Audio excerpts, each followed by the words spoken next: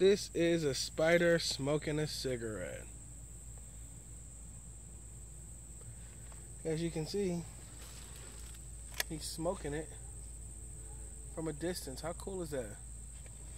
Only spiders, man.